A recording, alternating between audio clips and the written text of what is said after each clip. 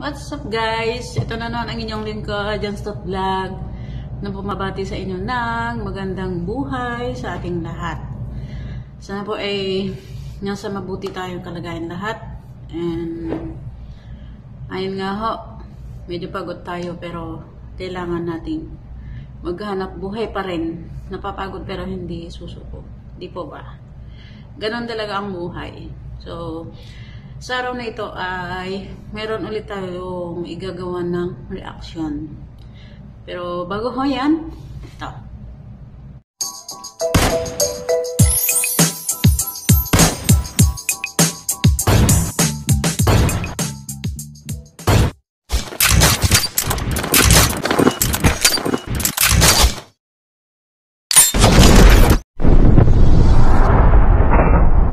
Kalinga Reactors Partners.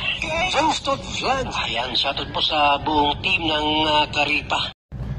Alright. Yan nga ho. And kung bago ko pa lang na napadaan sa aking mumunting channel, pasuyo na lang po, pakisub na lang po, and pakikalamba, pakikalampag na rin yung kampana para updated kayo sa mga susunod ko pang ukay-ukay na video. Di ba? And kahit po kina Kuya Bal, Kuya Bal Santos Matubang, and Ate Edna, at kay Kalinga Prab, kay Sir Rob. Ayan ho. Pakisupport na lang. Pakisupport na din po sila. Ayan, support po tayo sa kanila. Dahil hindi naman lingid sa atin ang mga kanilang adhikain at talaga po ito ay malaking tulong. So, ayan ho. At ang ating bibigyan reaction ngayon ay tungkol dun sa pag-surprise ni Kalinga Prab kay Team Kagawad. Ayan. At kasi itong si Tim Kagawad ay humingi siya ng nang nakikisuyo siya na dahil sira na daw yung bike niya at yung motor na ginagamit niya ay binawi daw po. Binawi. So, wala daw siyang gagamitin na mag maghatid ng mga tulong sa mga, yung mga matatanda na, mga citizen na.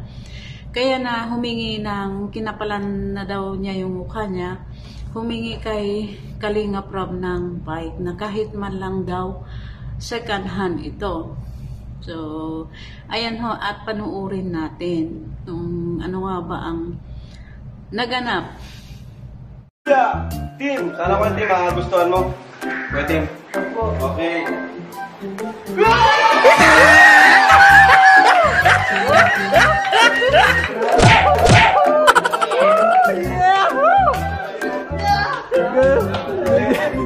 Salamat. Na pala pati oh. Ang maganda dito kuya, invisible yung ano dito. Oh, sige. Pero huwag ka makala, may freebie pa yan. May freebie yan. O, sige, takpan nyo ulit. May freebie. Dalawa? May libre, may Helmet! libre. Helmet! Helmet ang freebie. Hirap. Helmet tayo dito. Ayan ho. Ayan yung bike na hiniling niya na kahit man lang daw second hand. Ay, yun nga ho, tupad yun. Ayun. Ang saya niya, ang saya nila sa sa bike na surprise kay uh, Team Kagawad. Pero, hindi lang iyon. Ito pa, ito.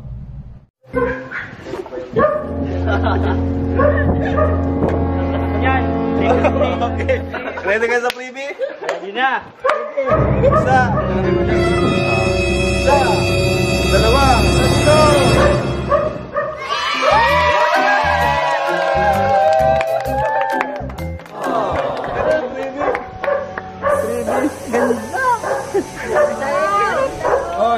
Kuya Tim. Ay, na, ano si Yara, mas si Kuya Tim. Salamat po ng marami kay Kuya Rab.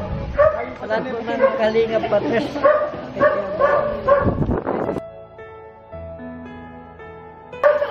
Ayan. Yung motor sa'yo na yan. Maluluwa-luwa si, ano, si Kuya Tim. Oh. Okay man yung freebie? Pasado? Start mo ako, Jason. Kahit ako nung napanood ko to parang medyo naluha ako ba na maalala ko na pag nga naman alam nila yung sa loobin mo pag ah, halimbawa kung halim, halimbawa kay Lord ba kung alam niya yung sa loobin mo kung alam niya yung laman ng loob mo yung desire mo hindi lang yung hinihiling mo yung ibibigay kundi umaapaw pa. Kaya nung napanood ko ito, medyo medyo naluha din ako kasi nakita ko yung reaction ni Team Kagawad na akala nga niya ay yung ay yung bike na talaga yon yung surprise sa kanya. Pero meron pa palang mas higit pa doon sa bike na second hand na yon. At grabe, grabe yung saya niya. Naiyak siya talaga, naluha siya. Pero alam niyo po ba na hindi po siya, nung pinakita yung bike na second hand ay hindi mo talaga nakita na ano yun, hindi mo nakita na, ano siya, yung wala siyang reklamo. Wala siyang reklamo talaga. Nakita mo dun sa mukha niya na, na talagang masaya din siya. Na nakita niya yung bike na surprise sa kanya. Wala siyang reklamo. So, ayun talaga na kita mo, kita mo yung yung katatao niya na kung ano lang yung mer kung ano lang yung meron ay sapat na. O di ho ba? Ang saya-saya niya, di ba? Kaya sige, lamot. Kanina, di nagreklamo si Kuya ano, Tim ano? Nung nakita yung bike na bulok-bulok. Ayan, bubuksan natin, no, Kuya Tim. O di ba? Nung nakita niya yung bike na bulok-bulok na sinurprise sa kanya eh, hindi man lang siya nagreklamo, kundi talagang masaya. Kita mo, kita mo pa rin yung saya sa mukha niya. Ayun, ayun po. At dito na po ulit nagwakas ang ating ginawang reaksyon. At maraming salamat po sa mga nanonood and ayun nga na tulad ng sinabi ko na pakisupport, supportahan po natin sina Kuya Bal, Ate Edna at Kalinga Prap dahil malaki po ito itong pro, itong adhikain nila ay talagang nakakatulong po sa pangkalawakang ano, basta nakakatulong po sa mga nangangailangan talaga. At hindi po iyon lingid sa atin na Ayun nga at sabi niya sabi ni ano, sabi ni Kuya Bal na hindi lang doon sa banda nila kundi sa iba't ibang lugar pa. Kita niyo naman na 'di ba, doon sila sa Daig, eh nakakarating pa sila ng Ilocos. O 'di ba?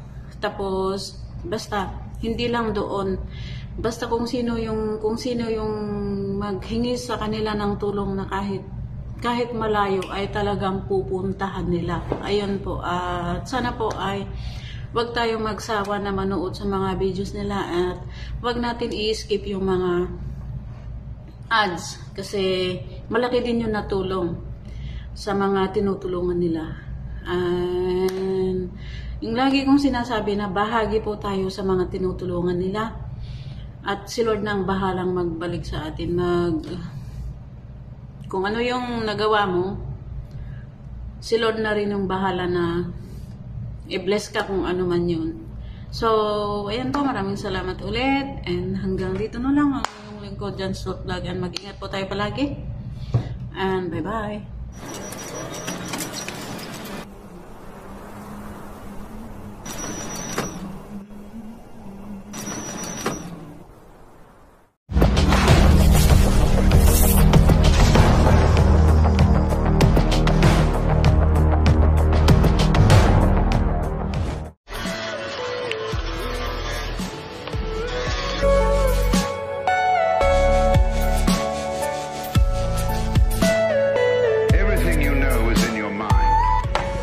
Ano, kumusta? Maganda? ha, takbong pogi? Lumapit para makapag-abot ka ng tulong Yan ang dahilan kung ba't pangalan mo umugong Siya si Kuya Bal na lagi maaasahan Palagi lang nandyan sa oras ng kailangan. Hindi na iiwan, di papabayaan Ang mga taong nahihirap. Sana ay hindi ka po magbago Tuloy mo lang tulong sa mga tao. Siya si Kuya Bal, siya si Kuya Bal, siya si Kuya Bal